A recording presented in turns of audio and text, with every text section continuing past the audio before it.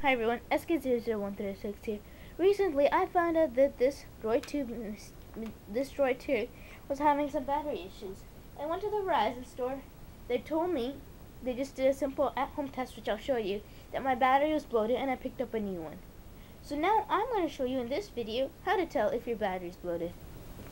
So, here's my first battery. You do, you set it on here. I'm setting it on this hard surface spin it. That one didn't work. That's because it's not bloated. Here's a bloated one. Yeah, if I just spin it, it twirls around and it should spin on both sides. So that's just an easy at-home way to check if your battery is bloated. Make sure to give the video a thumbs up if you thought that this was useful. Comment on if you if you have any other ideas for at-home battery bloating thing. Have you ever had a bloated battery? Tell me. Leave a message for me down in the comments below. Share this video. Bye.